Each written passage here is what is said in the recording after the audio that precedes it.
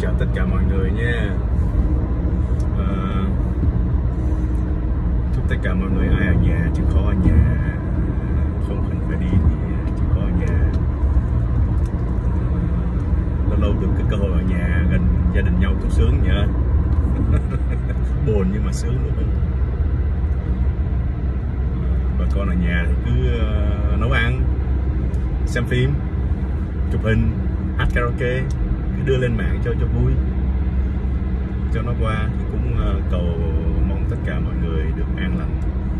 Mùa dịch uh, Vũ Hán này uh, mùa dịch của uh, Tập Cảnh Bình. Mong sao uh,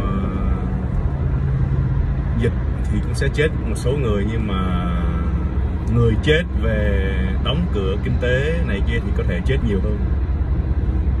Thì đó thì mong mọi người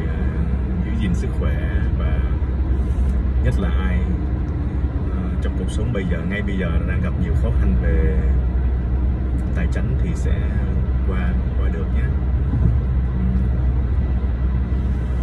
Bên Mỹ hôm nay bây giờ là 11 giờ 42 sáng. Bây giờ là mùa xuân thì là trời nó ấm lá nó đang mọc ra. Ai mà bị phấn cây ờ, bị dị ứng phấn cây thì rất là nặng.